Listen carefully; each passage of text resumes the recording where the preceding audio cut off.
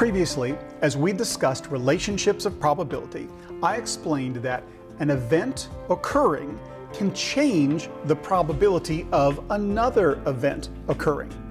And now we're going to look at conditional probability, which is the idea that the probability of events that have occurred differs from events that have not yet occurred.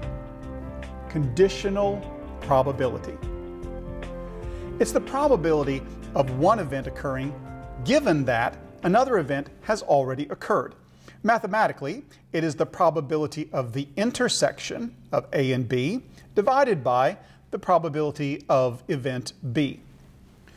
For example, Charles and Emma have two children. One is a boy. What is the probability that the other child is a boy? Now, already you know this is a silly question. Everybody knows that the probability of that second child being a boy is 50%.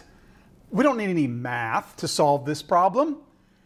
And this is where conditional probability can get you. Let's start by examining the sample space. The sample space is all possible outcomes that could occur.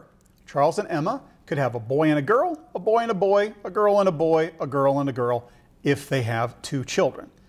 But we already know that one child is a boy. This now changes our sample space.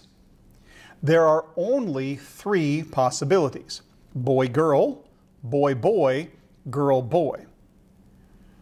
The second part of this question is the probability that the other child is a boy, meaning that the probability both children are boys.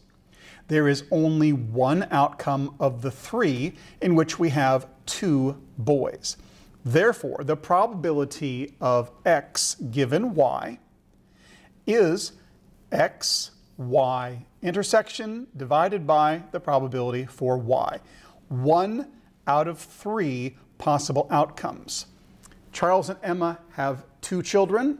One is a boy the probability that the second is a boy is one third, not one half. Why is this different? Why is the probability not 50%? And it is because one event has already occurred. And that occurrence is now changing the sample space of the other probabilities. Another outcome has been affected by the occurrence of a first outcome. Knowing something about one outcome changes probability of a different outcome.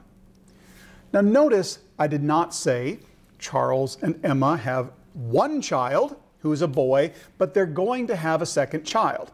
What's the probability that that child will be a boy? In that case, it would have been 50%. In this example, however, we've already established two children one of whom is a boy, that changes the probability for the second being a boy.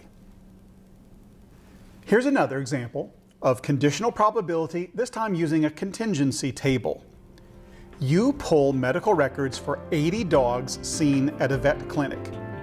Some of these dogs are male, others are female, some are pet quality, others are show quality. We will create a contingency table and I will show you using Excel how to calculate conditional probability.